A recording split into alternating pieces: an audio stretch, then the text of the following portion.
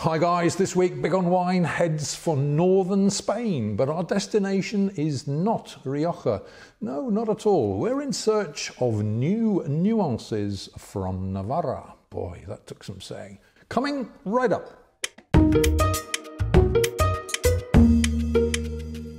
Hi, folks, welcome to another edition of Big on Wine, the channel, of course, that brings you news, clues, and reviews about, yes, everything in the world of wine.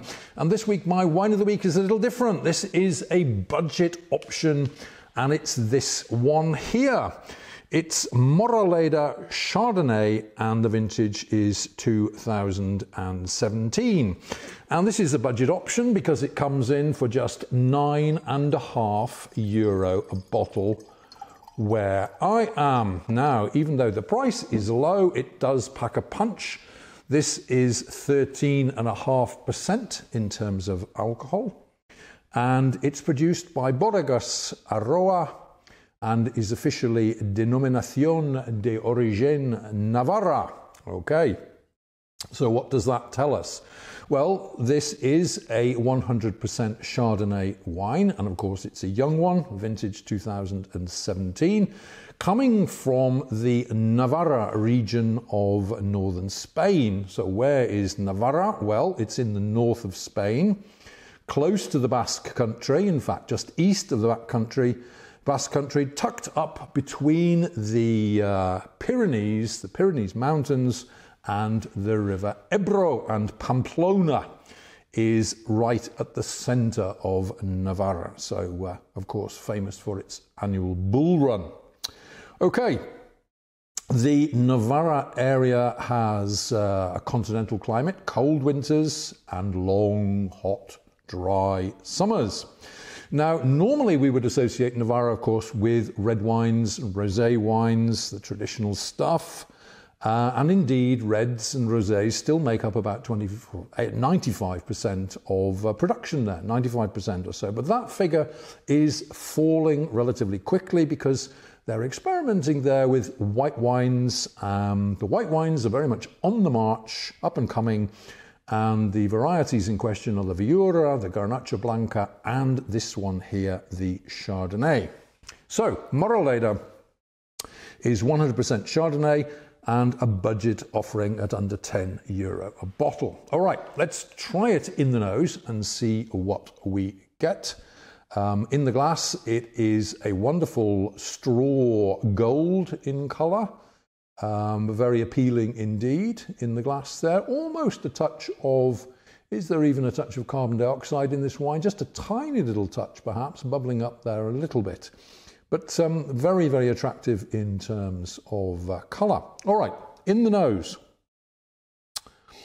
Um, hmm, now that's interesting and extremely pleasant. Um, how are we going to classify that? Well, I would say to begin with, it the aroma is fresh, it's light, um, quite elegant. I think we could even call this an elegant, elegant aroma on that. If I have to actually pin it down to a certain aroma, I would say that the initial impression is something between green apple and honeydew melons, a very pleasant combination of two quintessential uh, wine aromas there the, uh, the apple, the green apple, and the melon in the nose. Very nice indeed. Very nice. Good. Maybe even in the background, a touch of a hint of white pepper as well. Okay, now this is a dry wine. It has one gram of residual sugar, so it's pretty much bone dry. And it has, at least in the nose, a very, very pleasant, fresh, light, fruity aroma to it. And uh, I think it's uh, time to try it in the mouth. Yes, here we go. Let's give it a try.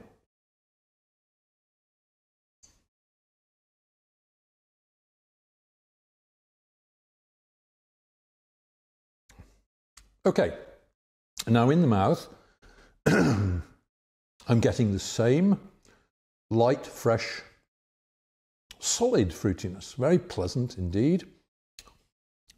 Coming now to a touch of acid in the mouth, so it's citrusy.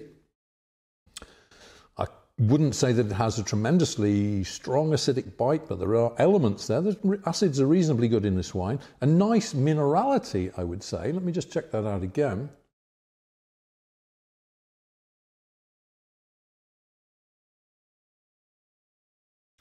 Yeah, the flavours in this wine uh, very much mirror the nose. In other words, that kind of apple, um, citrusy, with that touch of melon, touch of pepper in there. I wouldn't say that this wine is multi-dimensional, but it certainly delivers what it promises in the nose, and it's extremely pleasant in the mouth. This is a harmonious, well balanced, relatively simple wine um, with a long fruity finish uh, and a touch of pepper and spice. Um, a good everyday wine to accompany food. Excellent. The serving temperature for this wine should be around the 10 or 11 degree mark, I think. This is going to be perfect with fish and seafood, um, particularly fish with plenty of flavour, so a nice salmon cutlet or something like that. Uh, white meat, such as chicken, would also work extremely well with this. So, yes, let's pull all this together and bring you the heads up. We're talking here Moraleda Chardonnay 2017, an uncomplicated but still stylish Chardonnay from Spain's Navarra, coming in at a really good price, under 10 euro a bottle where I am. I'm going to give this wine three stars plus out of five. Okay, guys, many, many thanks for taking the time to uh, check out this week's video and, of course, the little introduction to a budget option from Spain's Navarra Moraleda and the vintage 2017. Nice stuff indeed. A new acquaintance for me. If you've enjoyed what you've seen and heard, then please do feel free to give us that big thumbs up, which we appreciate so much. Drop a comment down below. We're always pleased to receive your comments. Share the video around. Uh, follow me on my other social media platforms. And of course, you can always subscribe if you haven't done so already by hitting that big red button somewhere up there behind me. I'll be back again next week, of course, with another great wine of the week for you. But until we meet again, this is Tony Melville signing off and saying, hey, take care out there. Be good to each other. Enjoy your wines. And cheers.